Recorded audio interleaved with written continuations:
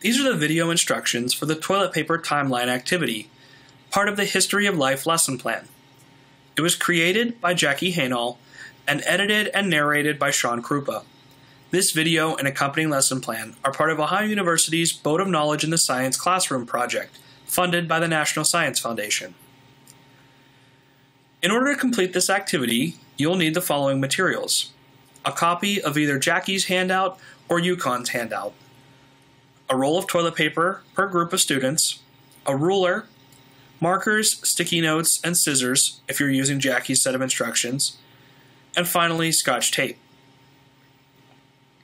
Now let's compare the different set of instructions you have to choose from. Jackie's has many more events.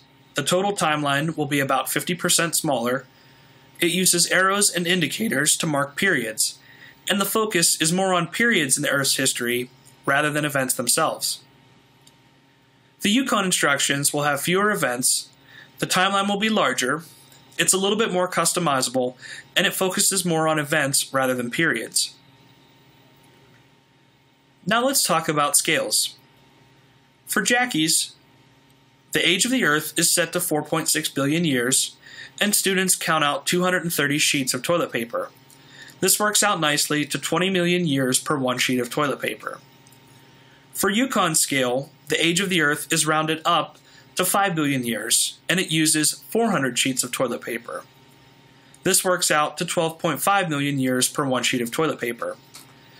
It's important to note that regardless of which scale is being used, the toilet paper sheets will vary in length. Therefore, students also have to measure the length of their sheets and scale time to length, typically in millimeters. Now we're going to show a sample timeline that was created by UConn's set of instructions. Remember, 5 billion years on this scale is equal to 400 sheets of toilet paper, and we said that that works out to 12.5 million years. The particular brand of toilet paper that was used had sheets that were 94 millimeters in length. This means that 1 millimeter on this scale using this toilet paper was 133,000 years and events were marked simply with sticky notes. So, just how long is 400 sheets of toilet paper? Well, 400 sheets times 94 millimeters per sheet works out to 37,600 millimeters. That's 37.6 meters in length. The timeline took up space in three hallways. Here were the events used it started with the Earth's formation, and then the solidifying of the crust, life appearing in the oceans, and then the first appearance of multicellular organisms, the arrival and extinction of the dinosaurs, the arrival of the first proto-humans, the arrival of the first Homo sapiens, and finally, recorded human history.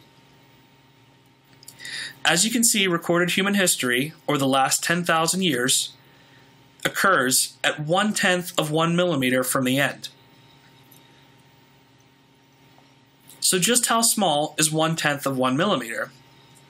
Well, the average thickness of a human hair is a half a millimeter wide. That means on this scale, on our timeline, recorded human history is one fifth of a hair width at the end of the timeline. Here are some tips for completing your timeline.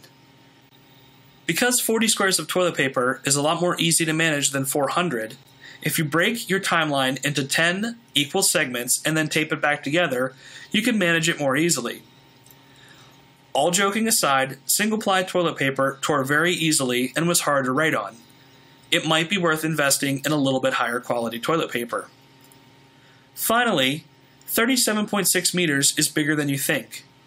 It's best to walk off 38 paces first when selecting an area to build your timeline. This concludes the video instructions for the toilet paper timeline. Thanks for your attention.